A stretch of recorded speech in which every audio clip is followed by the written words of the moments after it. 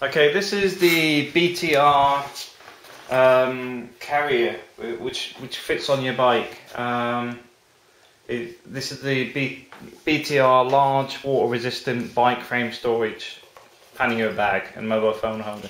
Now, when they say large, it, it, it's a bit deceptive. Um, but I mean, this is the bag basically. It, has got a little mobile phone holder. Uh, just drop it in there slide it in. Um, now, it also comes with an extension cable for your headphones. The reason being, this is the this is the connectors for your bike, but then you can actually push your headphones through there. So if you put the put the extender just on the outside, you could just connect your headphones straight to it, and you wouldn't have to open the bag in the rain or whatever. Um, but I just wanted to show you quickly how small the bag is. Um, two seconds.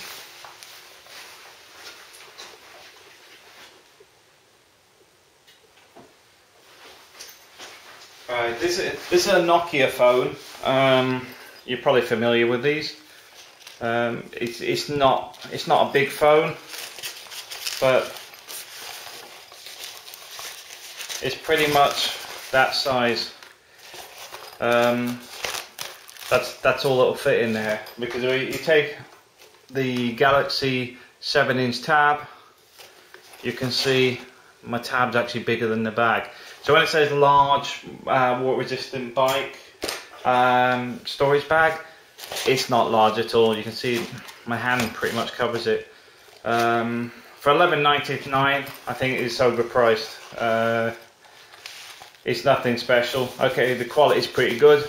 Um, it seems double lined, uh, pretty rugged, but at the same time it's still still 12 quid. Um, when allegedly it used to be 16.99 on Amazon. How much would I think that's worth? I don't know. I'm sure if you went on Alibaba, you could probably get one for a fiver. Uh, but I just want to do a review because it's not as big as I would have liked. Um, at the same time, it's functional enough for me. I can get my phone in there, I can get my wallet in there, but I was hoping for a bit wider to get my tab to fit. Uh, thanks for watching.